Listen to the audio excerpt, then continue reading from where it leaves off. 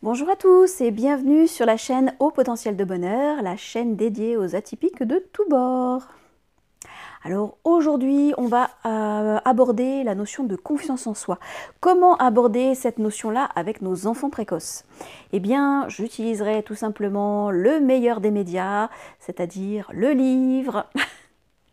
Alors pourquoi, pourquoi aborder la notion de confiance en soi avec nos enfants? Alors tout simplement parce qu'ils vont la, vivre au quotidien face euh, aux défis, aux petits défis de, la vie, euh, face aux épreuves, aux, euh, petits apprentissages. Donc la confiance en soi, elle se, manifeste lors de la marche, lors de l'apprentissage à nouer ses lacets ou l'apprentissage du vélo. bref, la confiance en soi, elle va se manifester à de nombreuses occasions.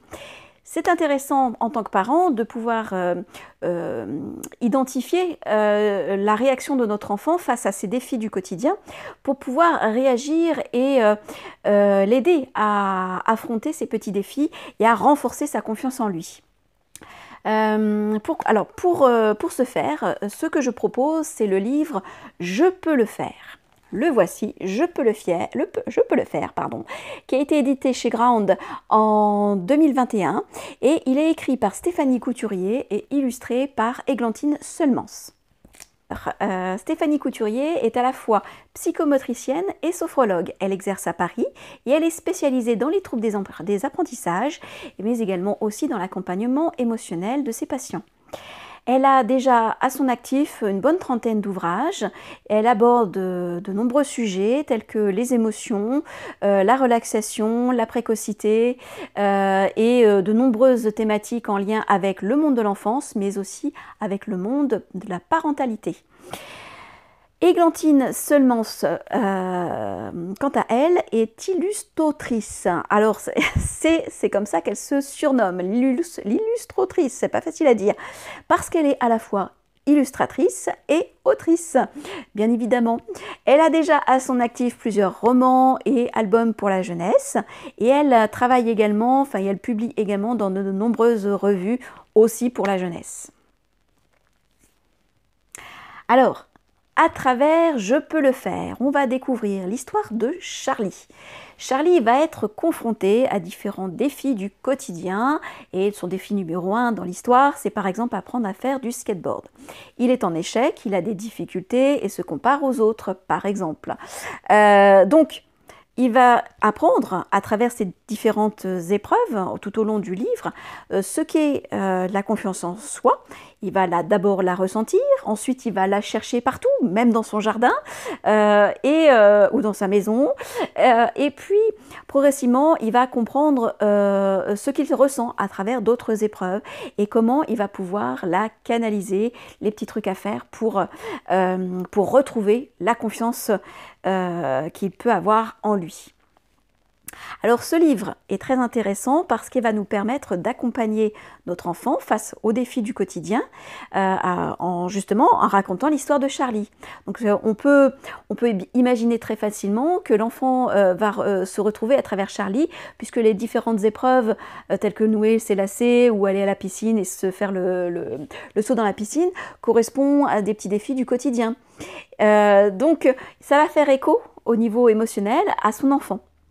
Et ce qui est intéressant en plus, c'est que en plus du récit, justement, on va avoir aussi euh, quelques conseils et astuces qui vont, être, euh, qui vont être proposés en bas de page dans une écriture qui cette fois-ci va être différente euh, de l'écriture du récit, donc une autre typographie qui va nous permettre de bien différencier le récit des conseils. Et donc à travers ces conseils et ces petites astuces, on va avoir aussi quelques petites questions qui vont nous permettre de créer un dialogue, donc un échange entre le parent et l'enfant. Et ça, ça crée un enrichissement qui est certain, euh, qui va être vraiment, euh, enfin en tout cas moi je l'ai trouvé vraiment très intéressant avec mon enfant parce que euh, ça permet de, à l'enfant de s'exprimer sur ce qu'il ressent et de se retrouver à travers ce personnage, mais de faire et de faire aussi des comparaisons avec d'autres épreuves que lui a, a connues. Donc c'est vraiment très enrichissant de ce point de vue.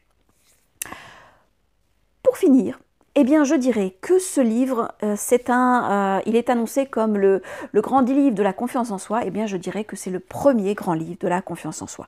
On peut l'utiliser dès le plus jeune âge avec euh, nos enfants. je dirais qu'en toute logique, il serait à proposer vers 4 ans, mais nos enfants précoces pigent assez vite les choses. Donc, il ne faut pas hésiter à le proposer même avant. Et pour cela, bah, vous êtes le meilleur prescripteur pour votre enfant. vous seul savez ce qui est le mieux.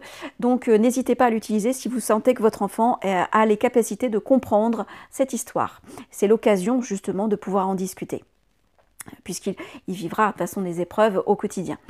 Euh, donc, il est excellent sur tout point de vue, il a vraiment toutes les qualités. Déjà, par le sujet qui est vraiment très très bien abordé de manière très progressive, euh, puisqu'on est dans une problématique, on a un aspect chronologique et puis on a une fin. Comment faire pour dépasser cette confiance en soi, enfin ce manque de confiance en soi et de retrouver la confiance? Euh, Il est très bien illustré, très coloré, les, illustrations sont, vraiment très jolies tout simplement. Et puis le parent va y trouver son compte aussi grâce évidemment aux, petits conseils, aux astuces et au dialogue qui va pouvoir se mettre en place avec son enfant.